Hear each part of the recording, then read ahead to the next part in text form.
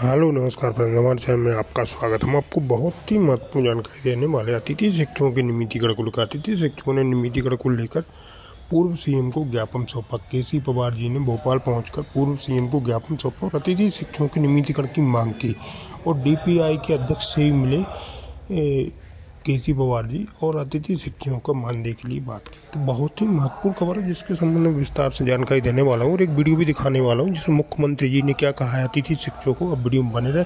Video पूरा देखें। Video अच्छी लगी तो लाइक करें और चैनल को सब्सक्राइब बिल्कुल ऐसे नई अपडेट पाने के लिए।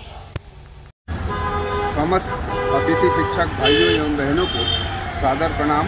भाइयों एवं बहनों, हम हमारी समस्याओं को लेकर आज भोपाल में हैं। आज हमने पूर्व मुख्यमंत्री शिवराज सिंह चौहान जी से मुलाकात कर अतिथि शिक्षक महापंचायत में जो घोषणाएँ हुई थी, उनके आदेश निकालवाने का आग्रह किया।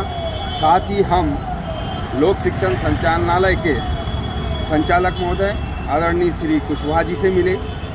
उनसे भी हमने जो अतिथि शिक्षक हमारे बाहर हो रहे हैं और जो हमारे अतिथि शिक्षकों का वेतन चार छः महीने से लंबित है मुलाकात की मेरे साथ में आज़ाद टीम के बहन आरती सोनी बबीता चौहान, प्रमोद जागरे आदि उपस्थित रहे।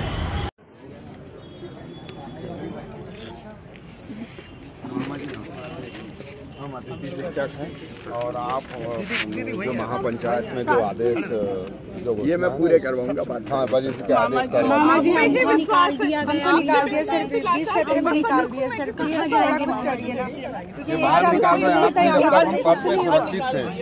बाहर निकाल रहे हैं। डीपीआई भी भोपाल बहुत बहुत परेशानी हो है मैं मेरी भोक्ता में पूरी करवाऊँगा बहुत परेशानी हो रही है। सर प्लीज़ मामा जी हाथ जोड़ रहे हैं आपसे बार बार बाहर निकाल रहे हैं? आपने जब तक ये बाहर निकाल रहे हैं?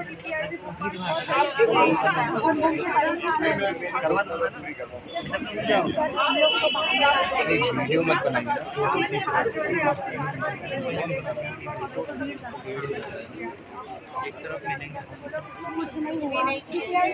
विभागीय परीक्षा हो जाए।